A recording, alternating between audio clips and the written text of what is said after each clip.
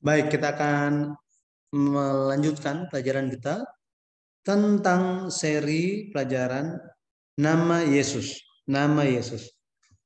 Mengenai nama Yesus, kita telah bahas mengenai arti nama Yesus yang ada hubungannya dengan uh, pekerjaan penebusan atau keselamatan. Kemudian tentang Kristus, Yesus Kristus, Yesus yang diurapi, bagaimana Yesus pada akhirnya menjalankan tiga fungsi uh, Mesias di dalam Alkitab ya perjanjian lama yaitu sebagai imam, sebagai imam, sebagai nabi dan juga sebagai raja. Dan kita telah melihat juga apa yang dimaksud Yesus ketika dia berbicara sambil menunjuk kepada dirinya sendiri, dia mengatakan tentang anak manusia, tentang anak manusia. Jadi anak manusia itu pada akhirnya um, Yesus bicara, anak manusia dipakai oleh Yesus istilah ini untuk menggambarkan kedatangannya kembali di akhir zaman. Dalam pertemuan yang terakhir ini kita akan bahas tentang anak tunggal Bapa, anak tunggal Bapa. Yohanes 1 ayat 14. Kita lihat ayat ini. Yohanes 1 ayat 14. Firman itu telah menjadi manusia dan diam di antara kita dan kita telah melihat kemuliaannya yaitu kemuliaan yang diberikan kepadanya sebagai anak tunggal Bapa, penuh kasih karunia dan kebenaran. Baik. Jadi anak tunggal ya, anak tunggal. Kalau kita uh, lihat di sini bukan hanya bicara tentang uh, anak yang pertama, anak sulung, tetapi satu-satunya, satu-satunya. Cuma um, mungkin kalau kita lihat um, nanti kita akan lihat bersama-sama kenapa di apa arti anak tunggal Bapa ini? Ya the only begotten son katanya. The only begotten son. Di dalam Alkitab um, ada satu satu orang lagi yang menerima sebutan yang sama di perjanjian lama yaitu Ishak. Kejadian 22 ayat 2 kejadian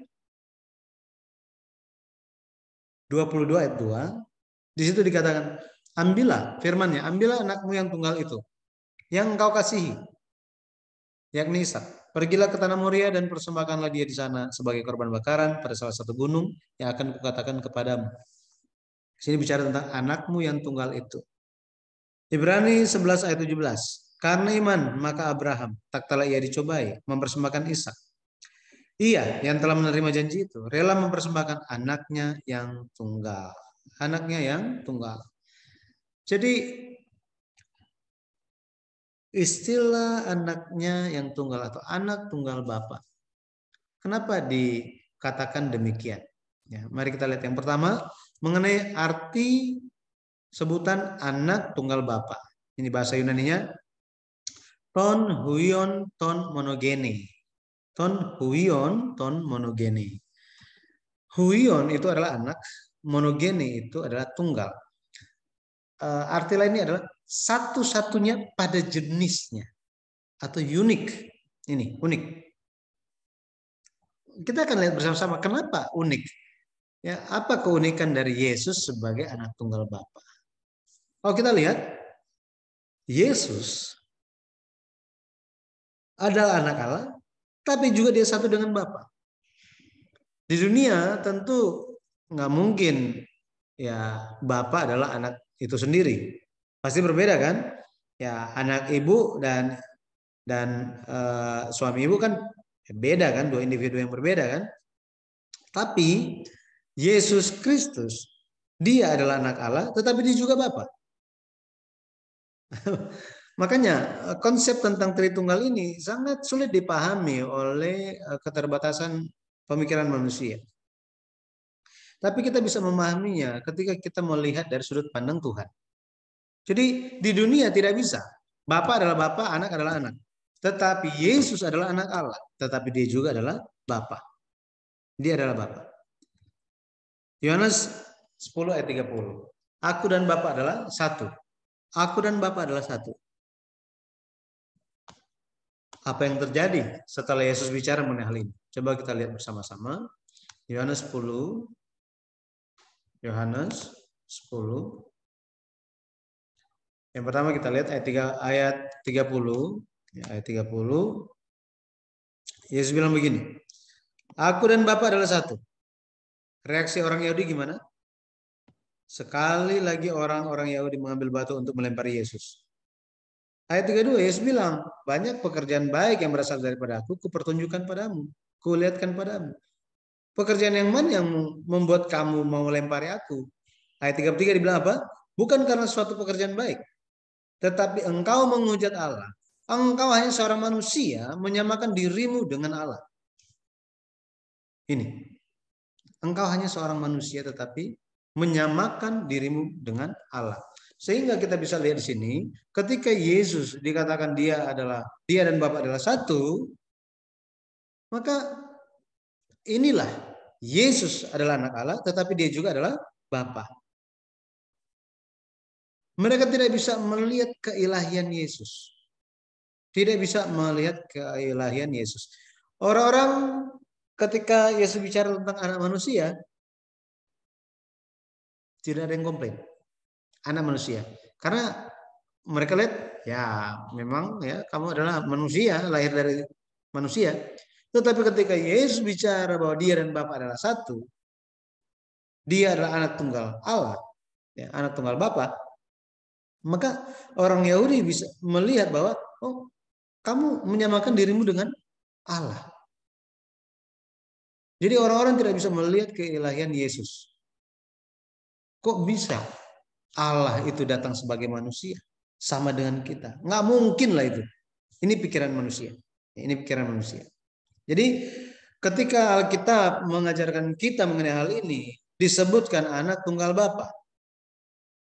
Anak tunggal Bapa. Sangat berbeda dengan pemahaman dunia. Di dunia, anak dan Bapa tidak bisa menjadi ya anak tidak bisa menjadi bapa di saat yang sama, nggak bisa. Tetapi Yesus bilang apa? Yohanes 14 ayat 9. Kata Fili, kata Yesus kepadanya, "Telah sekian lama aku bersama-sama kamu, Filipus, namun engkau tidak mengenal aku. Barang siapa telah melihat aku, ia telah melihat Bapa. Bagaimana engkau berkata, tunjukkanlah Bapa itu kepada kami?" Ya, jadi kita perlu pahami bahwa Yesus ada dalam Bapa, Bapa di dalam Yesus, sehingga Yesus dan Bapa adalah satu. Maka Yesus bilang, barang siapa telah melihat aku, ia telah melihat Bapa. Nah, maka kita perlu melihat melihat Bapa di dalam Yesus Kristus. Ini hal yang sama ketika kita menemukan Yesus, perlu menemukan Yesus di dalam perjanjian lama. Oke. Kita lihat karakteristik tentang anak tunggal Bapa, anak tunggal Bapa. Yang pertama, dia sama dengan Bapa. Dia dan Bapa adalah satu. Dia dan Bapa adalah satu. Tadi Yohanes 10 ayat 30 kita sudah lihat. Filipi 2 ayat 6. Filipi 2 ayat 6 dikatakan yang walaupun dalam rupa Allah tidak menganggap kesetaraan dengan Allah. Itu sebagai milik yang harus dipertahankan. Jadi Yesus itu setara dengan Allah. Yesus adalah rupa Allah, hakikat Allah. Jadi kalau kita lihat Yesus, sebenarnya aslinya Yesus adalah Allah, Allah itu sendiri. Yohanes 1 ayat 18. Yohanes 1 ayat 18. Tidak seorang pun yang pernah melihat Allah.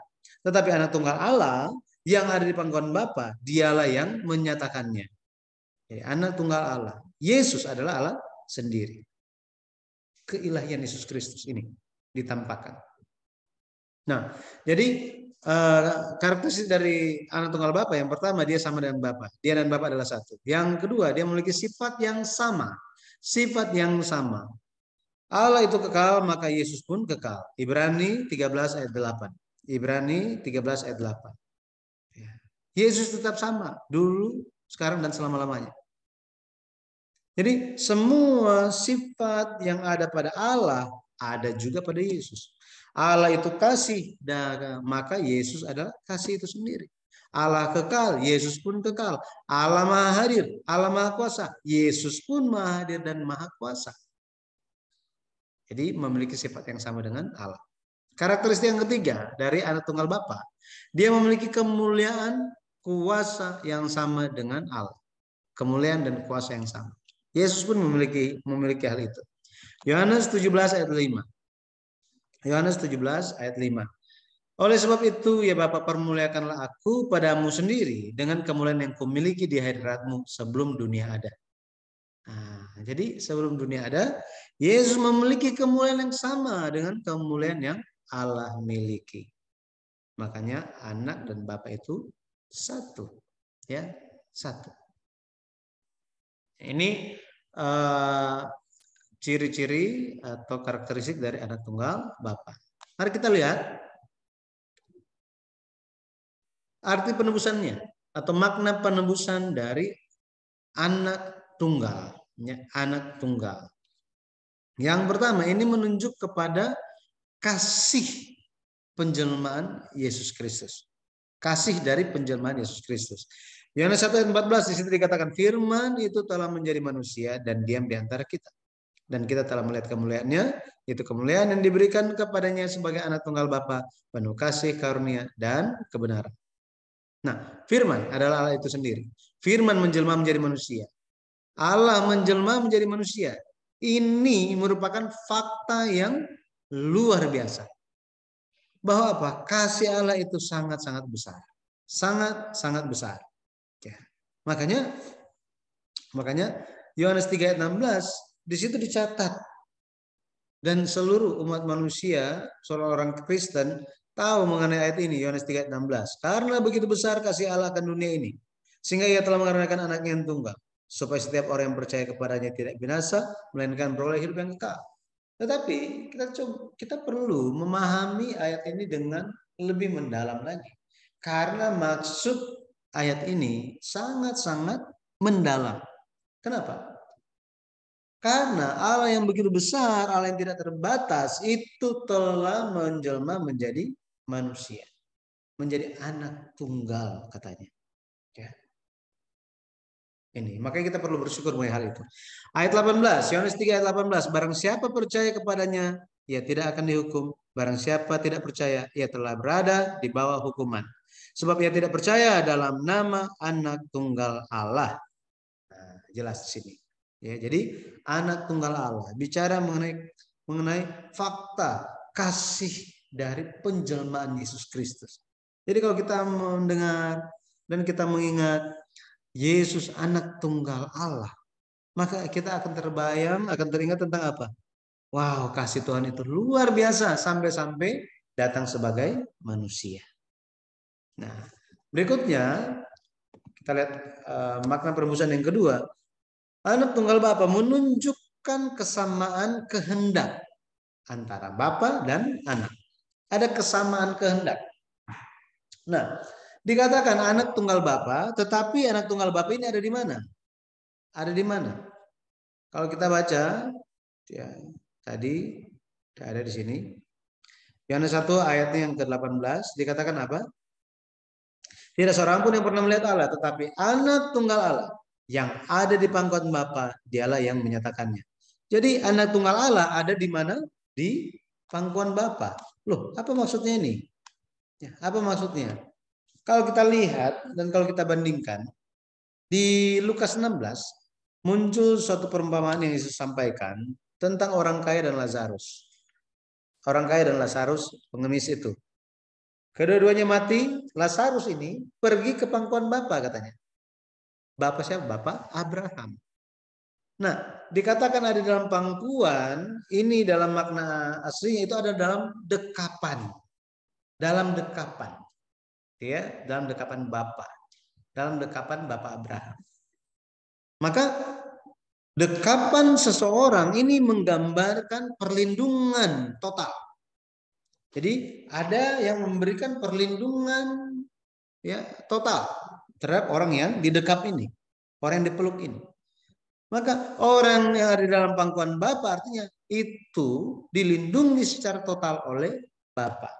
Ini sama seperti anak-anak ayam dilindungi di bawah ya, di bawah naungan induknya. Perlindungan. Artinya apa? Artinya ketika dalam perlindungan orang-orang jika orang menyerang ayam itu, anak ayam itu, maka sama seperti menyerang induknya. Kenapa? Karena induk dan anak-anaknya telah menjadi satu kan? Sama seperti itu anak Allah ada di pangkuan Bapa, ada dalam dekapan Bapa, artinya mereka menjadi satu. Lukas 16 ayat 22 dikatakan, kemudian matilah orang miskin itu lalu dibawa oleh malaikat-malaikat ke pangkuan Abraham. Ya. The bosom of Abraham. Ya. Jadi bahasa aslinya itu lebih kepada kepada menuju kepada dekapan, ya, dekapan. Yohanes 1 ayat 18. Dikatakan, anak tunggal Allah yang ada di pangkuan, kata pangkuan ini, kolpos, dada, ya. Bagian dada antara lengan, ya antara lengan. Ini dada antara lengan. Pelukan. Ini menunjukkan juga kepada apa? Keintiman, kedekatan. Kedekatan. Maka anak tunggal Allah ada di pangkuan Bapa artinya mereka satu, mereka sama. Makanya Yesus bilang di Yohanes 20 ayat 50, dan aku tahu bahwa perintahnya itu adalah hidup yang kekal. Jadi apa yang aku katakan, aku menyampaikannya sebagaimana yang difirmankan oleh Bapa kepadaku. Dan aku tahu, aku tahu, kata tahu sini, eido bahasa Yunani. Melihat dengan tepat, memahami. Jadi Yesus telah melihat dengan tepat. Yesus telah paham dengan baik tentang perintah Bapa. Yesus sampaikan sebagaimana yang difirmankan Bapa. Jadi kita dan Bapa perlu menjadi satu setiap hari. Yesus ingin kita hidup kekal. Bapa ingin kita hidup kekal. Maka kita perlu menjalani kehidupan yang bersifat kekekalan. Bersifat kekekalan itu seperti apa sih sifat kekekalan dalam kehidupan kita? Ya. Kalau misalnya negatif thinking, kalau misalnya hidup dalam dosa, hidup yang tidak mau mengontrol diri, hidup terserah kemauan kita, nah ini berarti kita tidak ma tidak sedang hidup dalam sifat-sifat uh, kekal. Kita sementara hidup dalam sifat-sifat yang sementara. Hanya sementara saja. Jadi kita perlu memiliki sifat yang kekal. Nah, kita perlu latih diri kita dengan firman Tuhan. Nah, jadi uh, kalau kita lihat kesimpulannya, dari antara 12 murid ada satu murid yang unik. Ada satu murid yang unik.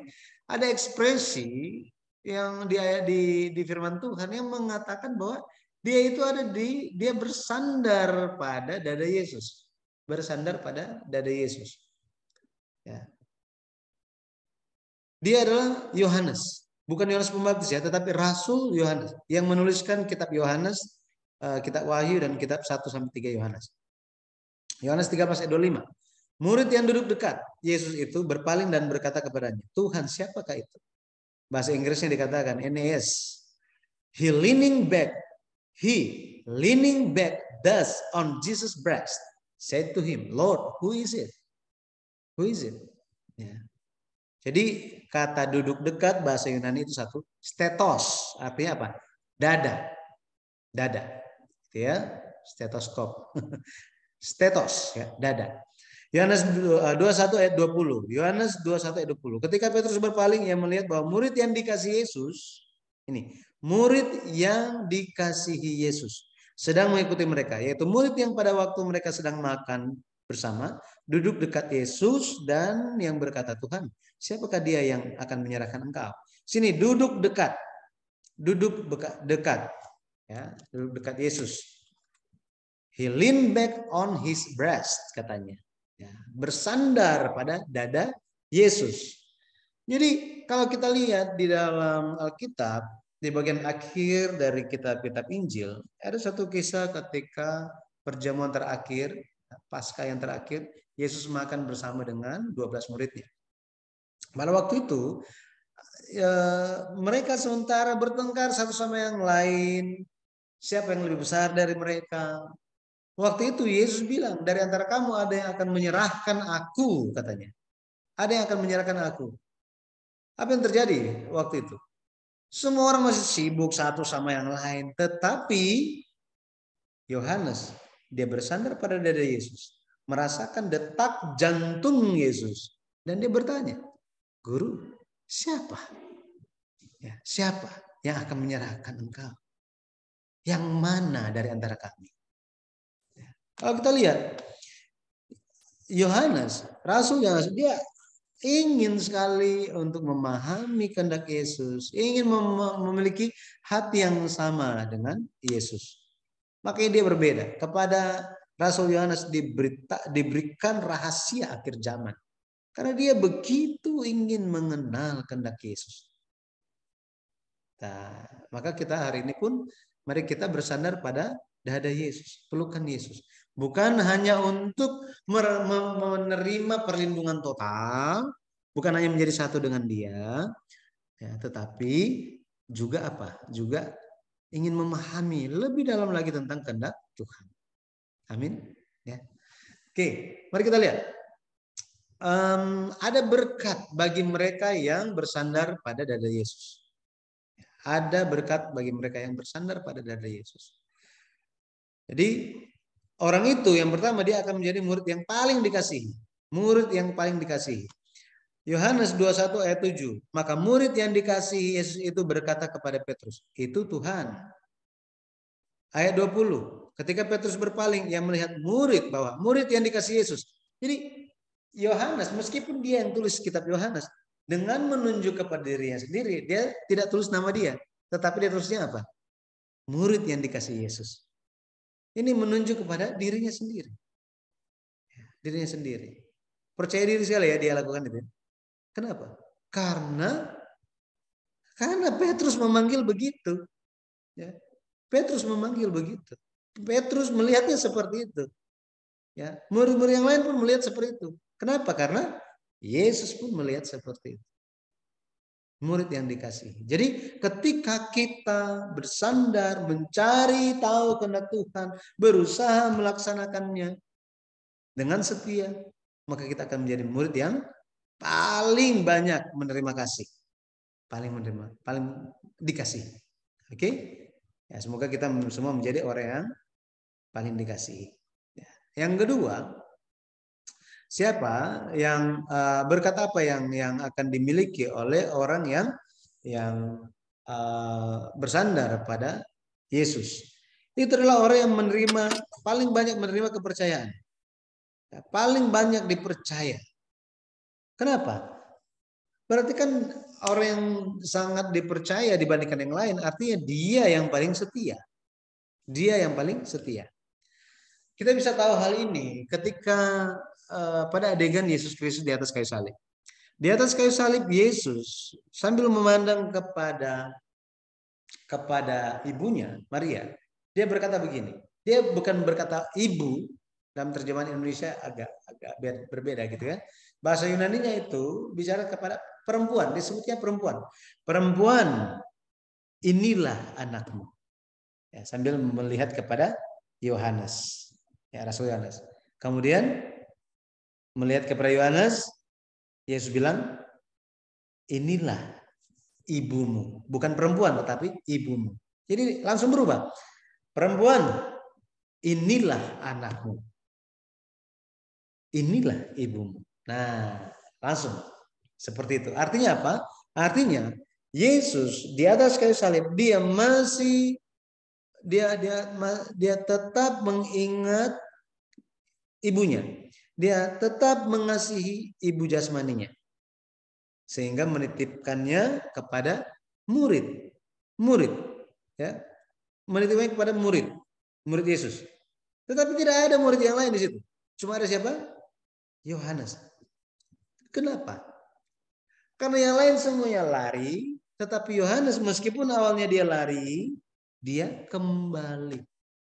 Di bawah kaki salib Yesus Kristus, dia kembali di bawah kaki salib Yesus Kristus. Dan dia menerima kepercayaan itu. Yesus mempercayakan Maria ibunya kepada Rasul Yohanes. Yohanes merawat Maria sampai akhir. Sampai akhir. Bayangkan, Yesus Kristus mempercayakan ibunya kepada Yohanes. Sangat dipercaya. Jadi Yesus ingin bertemu dengan banyak orang yang bisa dipercaya. Bahasa banyak dipercaya. Yesus ingin mencurahkan kepercayaannya kepada banyak orang. Kenapa? Karena karena dia ingin membangun kerajaan di bumi ini. Ya, kerajaan di bumi ini. Kerajaan yang seperti apa? kerajaan yang setia, orang-orang yang setia untuk menjalankan misi ini. Ya, Yohanes 19 ayat 26 sampai 27. Di sini. Inilah ibu. Ya, bahasa aslinya perempuan, inilah anakmu. Ayat 27. Inilah ibumu. Ya. Kemudian, apalagi berkat apalagi yang diterima oleh orang yang bersandar pada dada Yesus? Yang pertama kan dikatakan akan menerima paling banyak kasih. Menjadi murid yang paling dikasihi. Yang kedua, menerima banyak sekali kepercayaan yang besar. Yang ketiga, akan menerima firman yang paling penting. Firman yang paling penting.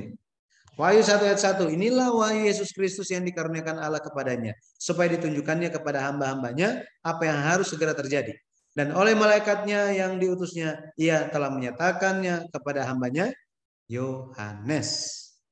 Nah, kitab Wahyu itu bercerita atau berisi tentang hal yang akan terjadi di akhir zaman. Bagaimana Tuhan akan bekerja di akhir zaman.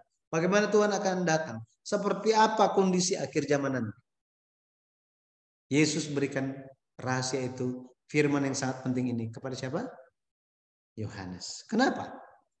Karena Yohanes itu ingin selalu mencari tahu kehendak Tuhan bagaimana. Ingin mengenal hati Yesus seperti apa. Dan Yesus nyatakan itu. Ya. Nah, jadi ada berkat, ada tiga berkat ini.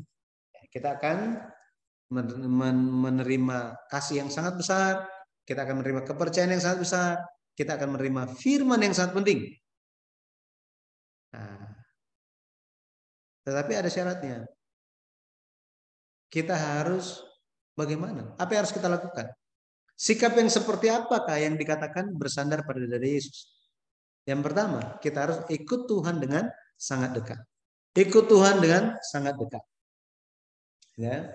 Yohanes 21 ayat 20. Sini dikatakan bahwa Yohanes salah Pak. Dia duduk dekat Yesus.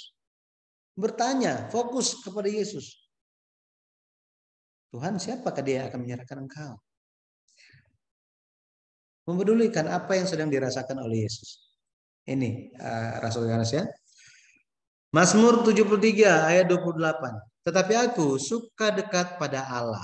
Aku menaruh tempat perlindunganku pada Tuhan Allah. Supaya dapat menceritakan segala pekerjaannya. Kalau kita lihat di sini, ibu-ibu, um, pemazmur dia katakan bahwa dia suka, suka dekat kepada Allah. Dia menaruh tempat perlindungannya kepada Allah, katanya. Tempat perlindungan dia.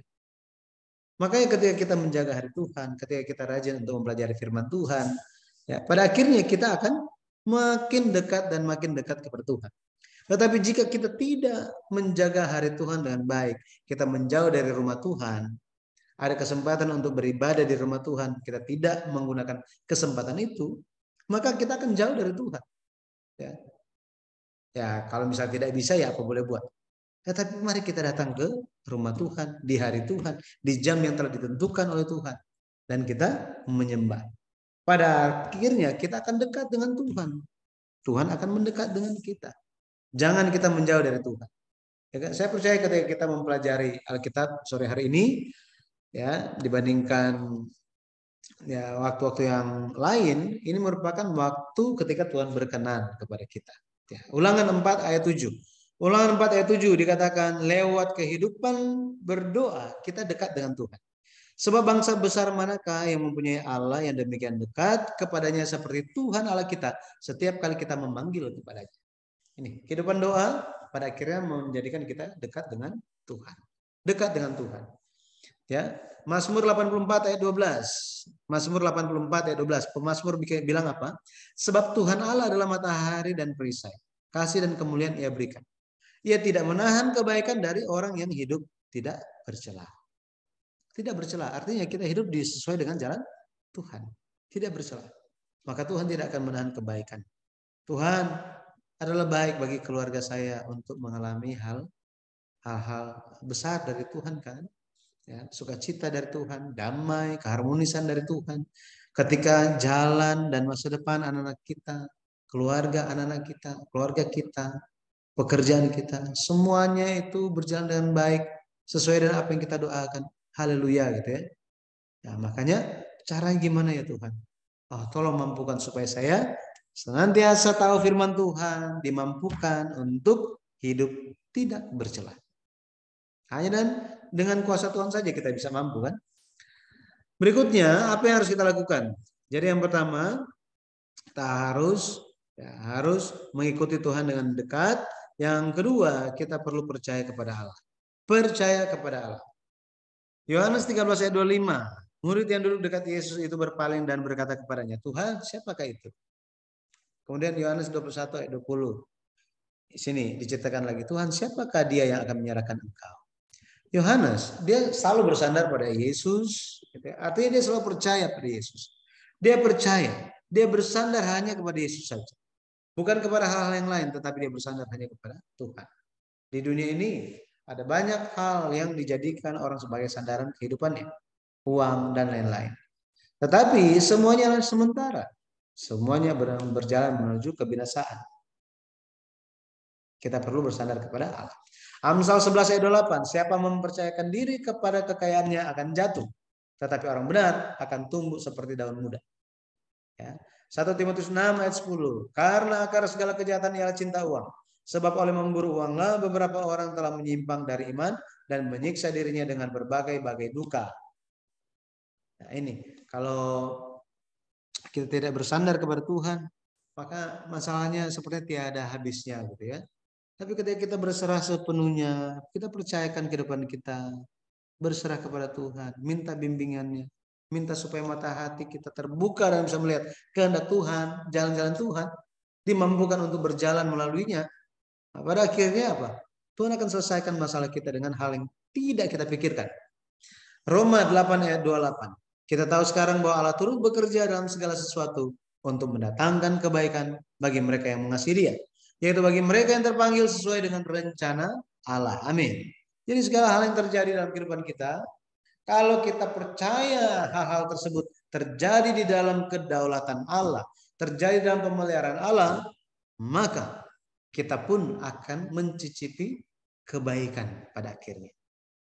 Ya meskipun keadaan kita tidak begitu baik, ada permasalahan mungkin dalam anggota keluarga, dengan pasangan kita, dengan anak-anak kita, dengan pekerjaan, mungkin dengan teman-teman komunitas atau teman-teman di gereja, pelayanan di gereja. Tapi ketika kita bisa percayakan semua di hadapan Tuhan bahwa segala sesuatunya itu terjadi dalam pemeliharaan Tuhan, maka pada akhirnya kita akan kita akan mengalami kebaikan Tuhan. Kebaikan. Amsal 16 ayat 20. Siapa memperhatikan firman akan mendapat kebaikan. Berbahagialah orang yang percaya kepada Tuhan. Jadi uh, saya berdoa di dalam Tuhan Yesus Kristus kiranya kita senantiasa memperhatikan firman supaya kita mendapatkan kebaikan. Berbahagialah orang yang percaya kepada Tuhan. Haleluya. Amin.